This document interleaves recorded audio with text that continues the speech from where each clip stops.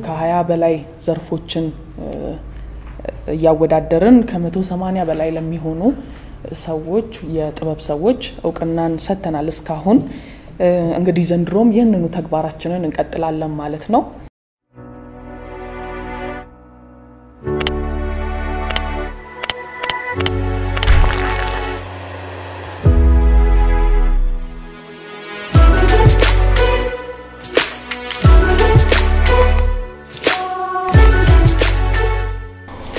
ሰላምና ጤና በያላችሁበት ድረስ ይህ ሀንድሪ ቲዩብ ነው። እኔ ደግሞ በሻቱ ቶለማርያም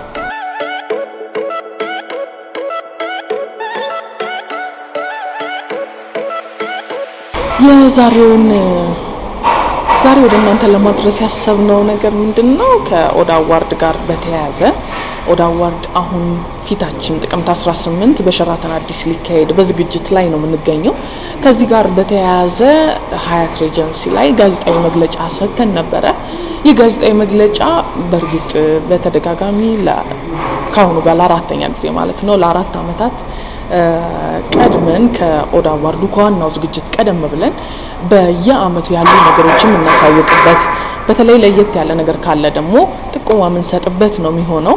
ኦዳ አዋርድ በአፋን ኦሮሞ የተሰሩ የተለያዩ የኪነ ጥበብ ስራዎችን ለማበረታታት ከዛሬ አራት ዓመት በፊት የተቋቋመ ፕሮግራም ነው። እንግዲህ በየአመቱ እስከ ዛሬ ድረስ ከ20 በላይ በሆኑ ዘርፎች ከ180 በላይ ለሆኑ አርቲስቶች እውቅናን ስንሰጥ ቆይተናል። እንዲሁም ደግሞ እንዲህ ከማወዳደሩ ከመሸለሙ ባሻገር ግን በአመት አንዴ በጣም ትልልቅ የሆኑ ሰዎች በስራቸው አንቱታን ያገኙ ሰዎች እዛ ቦታ ላይ የተገናኙ የተለያዩ ነገሮችን ሀሳቦችም የሚለዋወጡበት አጋጣሚም እየሆነ ነበረ። የዘንድሮ ደግሞ በሁለት መልኩ ለየት ያለ ሆኖ ተገኝቷል። የመጀመሪያው ነገር በዚህ አመት እንደምታውቁት ተወዳጁ በአፋን ኦሮሞ የተለያዩ የሙዚቃ ስራዎችን እየሰራ የህዝብ ድምጽ በመሆን ሲያገለግል የነበረው ሃጫሉ ሁንዴሳን በአሳዛኝ ሁኔታ ያጣንበት አመት ነበረ። ሃጫሉ ኦዳ አዋርድ ላይ ሁለት ጊዜ ለመሸለም ችሏል። የመጀመሪያው በተጽዕኖ ፈጣሪ አርቲስትነት እንዲሁም ደግሞ በሁለተኛው በነጠላ ዜማ አሸናፊ ሆኖ የኦዳ አዋርድን ሽልማት ያገኘ ሰው ነው። ከዛ ባሻገር ግን ኦዳ አዋርድ ከመቋቋሙ ጀምሮ በርቱ፣ ከጎናችሁ ነኝ እያለ ሀሳቡን ሲደግፍ ሲያበረታታን የነበረ አርቲስት ነው፣ ወንድማችን ነው። ያለፉትን ሶስት አመታትም ቦታው ላይ እየተገኘ ዝግጅቶች ላይ እየተገኘ ሌሎችን እያበረታታ እንዲሁም ደግሞ እሱም ሽልማቱን እየተቀበለ ቆይታ ያደረግንበት ነበረ። ለማንኛውም በዘንድሮ ግን ሙሉ ኦዳ አዋርዱን ለሱ ሰጥተን በሱ ማስታወሻነት የሚካሄድ ነው የሚሆነው።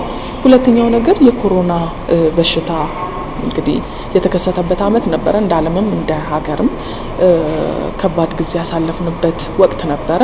ከዚህ ጋር ተያይዞ ሌሎች የኪነ ጥበብ ስራዎችን ማወዳደር ባንችልም በሙዚቃ ላይ ብቻ ትኩረት አድርገን የሙዚቃ ስራዎችን ከአስር በላይ ዘርፍ መርጠን በእነሱ ልናወዳድር ወደናል። አጠቃላይ ዝግጅቱ የሚሆነው እንግዲህ ጥቅምት 18 ነው በሸራተን አዲስ። እዛ ደግሞ ያሉ ነገሮችን እንዲሁ በሀንድሪ ቲዩብ ለእናንተ ለማድረስ እንሞክራለን። ከዛ በፊት ደግሞ እጩ ሆነው የተመረጡ የተለያዩ ልጆችን መጥተው ራሳቸውን እንዲያስተዋወቁ ሀንድሪ ቲዩብ ላይ ምረጡኝም ብለው እንዲቀሰቅሱ እድል የምናመቻች ነው የሚሆነው። ለማንኛውም ሙሉ የጋዜጣዊ መግለጫውን ቪዲዮ መመልከት ትችላላችሁ እዚሁ ሀንድሪ ቲዩብ ላይ። ለአሁን ግን ይሄን ያህል ካልኩኝ ይበቃል። መልካም ጊዜ መልካም ሳምንት ይሆንላችሁ።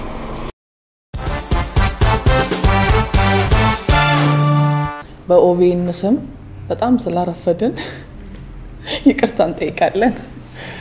ሁላችሁም በሰዓታችሁ የመጣችሁ እጅግ አድርገን እናመሰግናለን። ዛሬ የተገናኘ ነው በየአመቱ እንደምናደርገው ሁሉ የኦዳ አዋርድ የሽልማት ፕሮግራም ሊካሄድ ስለሆነ እሱም በተመለከተ ቀድመን መረጃዎችን ለእናንተ ለማድረስ ነው። ያው እናንተ ደግሞ ለህዝቡ እንድታደርሱ ማለት ነው። ኦዳ አዋርድ እንደሚታወቀው በአፋን ኦሮሞ የተሰሩ የተለያዩ የኪነ ጥበብ ስራዎችን በየአመቱ እያወዳደረ ጥሩ ለሰሩት በሙያተኛ አይን ታይቶ ጥሩ ነው የተባሉትን እንዲሁም ደግሞ በህዝብ ምርጫ የተመረጡ ስራዎችን በየአመቱ እያወዳደረ የሚሸልም ፕሮግራም ነው። ኦዳ አዋርድ በሻቱ ቶለማርያም መልቲ ሚዲያ ከኦሮሚያ ባህልና ቱሪዝም ቢሮ ጋር በአንድ ላይ በመሆን የምናዘጋጀው ፕሮግራም ነው።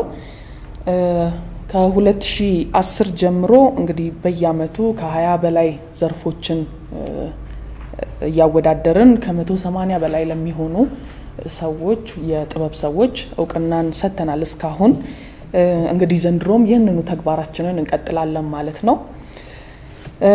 ዘንድሮ ግን በሁለት መልኩ ለየት ያደርገዋል የዘንድሮን የኦዳ አዋርድ ፕሮግራም። አንደኛው እና ትልቁ በዚህ አመት በአሳዛኝ ሁኔታ ያጣነውን በኦሮምኛ art ውስጥ ትልቅ ቦታ ያለውን ትልቅ አሻራ ያለውን ሀጫሉን ሀጫሉ ሁንዴሳን የሚያስብ ኦዳ አዋርድ መሆኑ ነው። ማስታወሻነቱ ለሱ የተሰጠ ነው። ሀጫሉ እንደሚታወቀው በኦሮሞ art ውስጥ እንዲሁም በሀገራችን እንዳጠቃላይ በኢትዮጵያ art ውስጥ የራሱን ድርሻ ተጫውቶ ያለፈ ሰው ነው። በተለይ ደግሞ ለኦዳ አዋርድ ከሀሳቡ መነሻ ጀምሮ በሚችለው ነገር ሁሉ አብሮን የነበረ እንዲሁም ደግሞ በመጀመሪያው ኦዳ አዋርድ ላይ በተጽዕኖ ፈጣሪነት እንዲሁም ደግሞ ሁለተኛው ላይ በነጠላ ዜማም አሸናፊ የነበረ ያለፉት ሶስቱም ኦዳ አዋርዶች ላይ መጥቶ ሌሎቹንም ሲያበረታታ የራሱንም ሽልማት ሲቀበል እና ለእኛም ድምቀት የነበረ ሰው ነው። በማለፉ እጅግ አዝነናል። ይህንንም አስመልክተን አራተኛውን ኦዳ አዋርድ በሱ ማስታወሻነት ነው የምናደርገው ማለት ነው።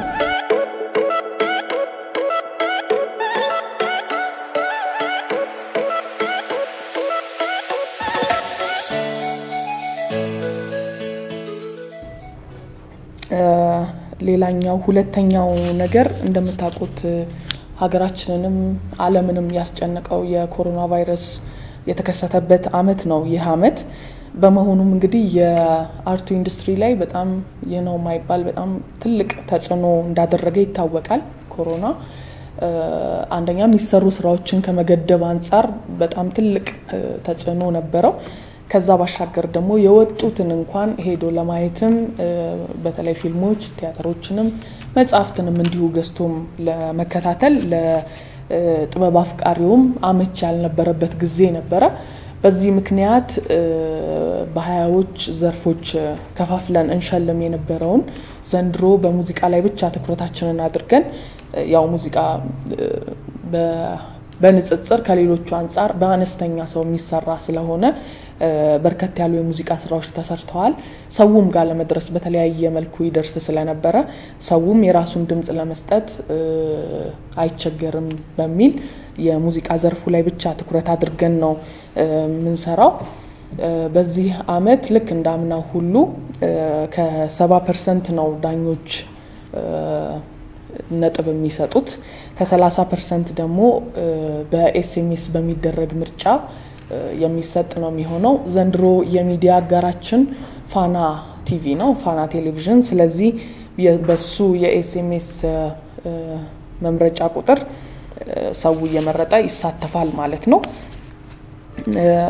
ሌላኛው እንግዲህ ልክ እንዳምና እንደካቻምናው ሁሉ ከመጀመሪያው ጀምሮ እንደምንናገረው ከፍተኛ ጥንቃቄ ነው የምናደርገው እዚህ ውድድር ላይ ስራዎችን ከማሰባሰብ ጀምሮ በየስቱዲዮ ሄዶ ከማሰባሰብ እንዲሁም ደግሞ የሙዚቃ ባለሙያዎቹ ለህዝቡ ይድረስልኝ ብለው በሚጭኑት ዩቲዩብ እንዲህ በተለያዩ ዘዴዎች ለማሰባሰብ ሞክረናል። ከዛ ባሻገር ግን ዳኞቻችንን ልክ እንደ በፊት ሁሉ በጥንቃቄ ለመምረጥ ነው የሞከርነው። ከትምህርትም አንጻር ከልምድም አንጻር በቂ እውቀትና ልምድ ያላቸው እና ደግሞ በኃላፊነት የሚሰሩ ሰዎችን ለመምረጥ ሞክረናል። አሁን ላይ እጩዎቹ ተለይተው ሰው SMS ወደ መምረጥ ነው የሚሄደው።